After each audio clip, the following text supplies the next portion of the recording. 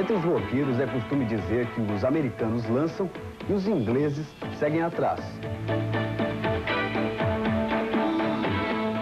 É, para não dizer copiam.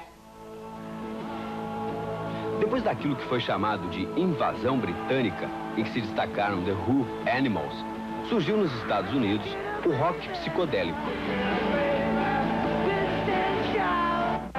Esse rock nasceu nas praias da costa oeste americana e defendia honestamente para uns e descaradamente para outros os paraísos artificiais, o uso de drogas como LSD, o ácido lisérgico.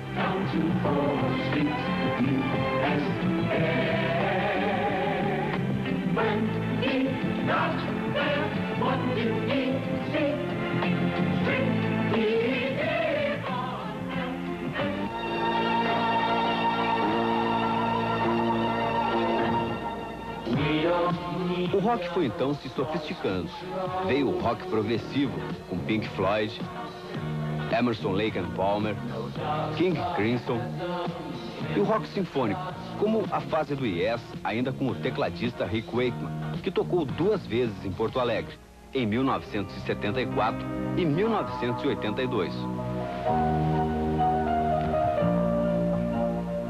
Duas vezes já é demais, mas como o Lennon falou, o sonho tinha mesmo acabado. Numa época em que esses paraísos artificiais eram bem mais lisérgicos e estavam bem mais disponíveis, ainda se explicava a existência desse rock, eh, digamos, sinfônico. Né? Porém, com a entrada é, do, dos anos, o final dos anos uh, 70, né, e a falência definitiva de qualquer espécie de sonho, isso aí virou uma coisa absolutamente demodê, né, e como reação instantânea, isso surgiu a simplicidade agressiva do punk rock.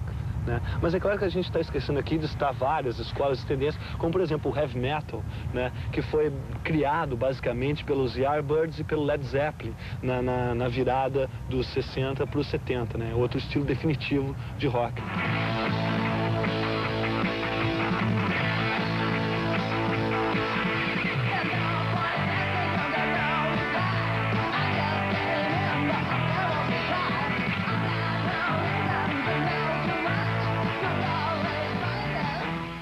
Mas a história tem, dá muitas voltas, né? tem muitas vicissitudes, né? Pô, esqueci. Né?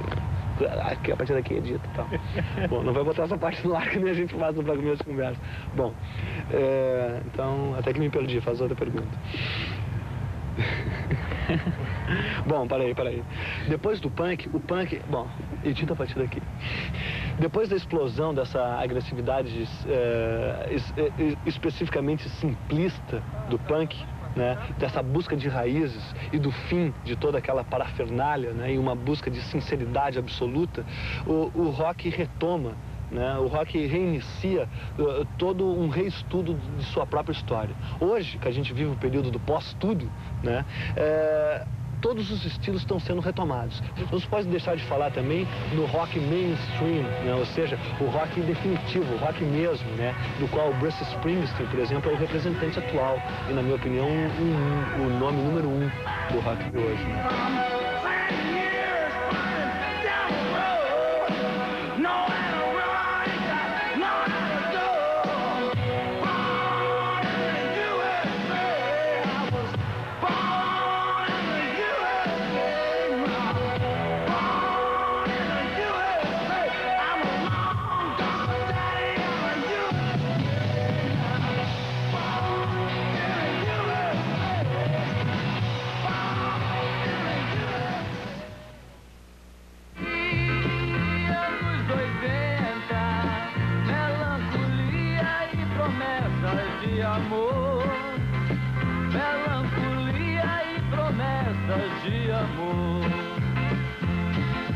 País carregador dessa miséria dividida entre Ipanema e a empregada do patrão. Varrendo lixo pra debaixo do tapete que é supostamente peça pra alegria do ladrão.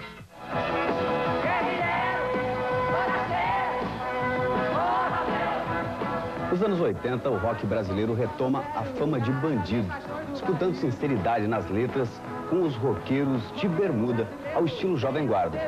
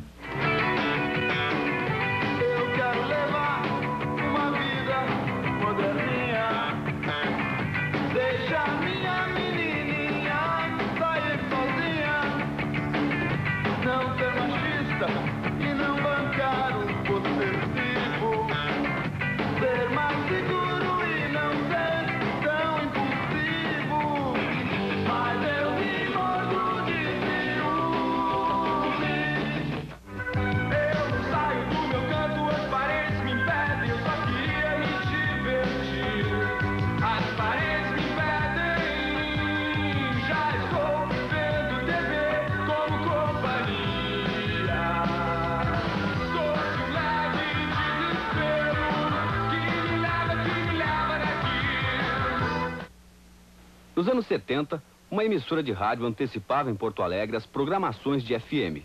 Era a Rádio Continental, que divulgava em fita o trabalho de grupos e cantores gaúchos. Atenção moçada para esse lance. Estúdio 2 apresenta dia 13 no Cine Teatro Presidente. Hermes Aquino, Almôndicas, Utopia, Vanderlei Falkenberg, Bizarro, Palpos de Aranha, Bobo da Corte, Inconsciente Coletivo, Fernando Ribeiro, Grupo Ensaio e Gilberto Trave. O primeiro e maior concerto da música do Rio Grande do Sul. Vivendo a Vida de Lee, dia 13, Teatro Presidente. A divulgação não parou aí.